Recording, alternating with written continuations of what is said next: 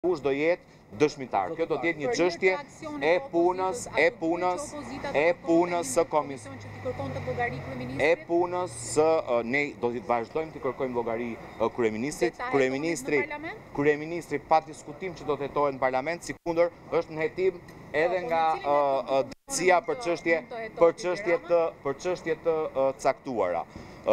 Edi Rama vazhdon të jetë Kundërshtari politik jo vetëm i opozitës dhe i Partisë Demokratike, por është kundërshtar i çdo shqiptari të ndershëm.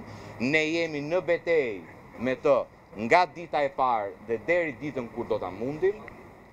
Dhe sigurisht që edhe normalizimi i jetës parlamentare Është vetëm çështje brenda Parlamentit, por nuk ndryshon asgjë me aksionin e opozitës jashtë Parlamentit. Zoti Bardhi, përse jeni tërhequr nga komisioni McGonigal dhe hetimi i udhëtimeve të kryeministrit Rama me charter? Nuk jemi tërhequr nga asnjë komision hetimor.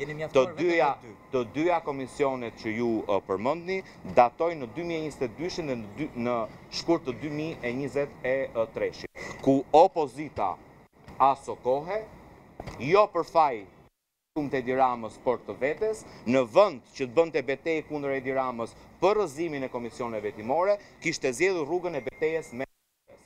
Nga shtatori dy mijë e njëzet e një është lënë me një anë dhe ne jemi përqendruar njëqind për qind tek beteja me Edi Ramën.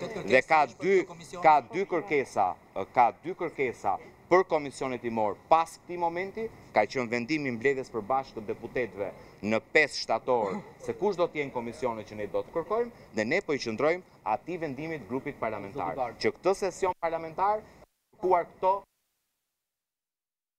hetimore. Sa i takon McGonigal, meqënëse doni, po ju informoj që ditën e nesërme në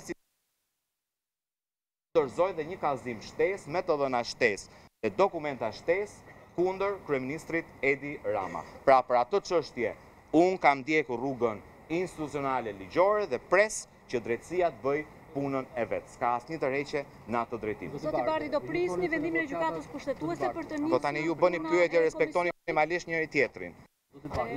Do prisni vendimin e Gjykatës Kushtetuese për të nisur punën me Komisionet Hetimore? Do të zbatojmë Kushtetutën. Gjej rastin dhe njëherë publikisht i bëj thirrje Gjykatës Kushtetuese ta marrë në shqyrtim me prioritet ligjin e ri. Derisa të vijë ky moment, ne do të zbatojmë drejtpërsdrejti Kushtetutën, e përsëris nëse ajo që është rënë dakord parimisht në Konferencën e Kryetarëve për të gjitha çështjet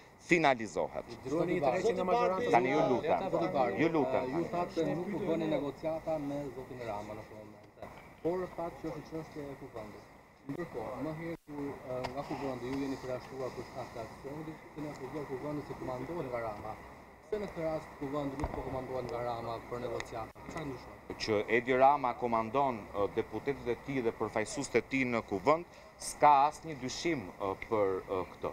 Ajo që unë thashë është që opozita është ulur aty ku e ka vendin tek Konferenca e Kryetarëve dhe i gjithë diskutimi dhe dialogu është bërë në Konferencën e Kryetarëve.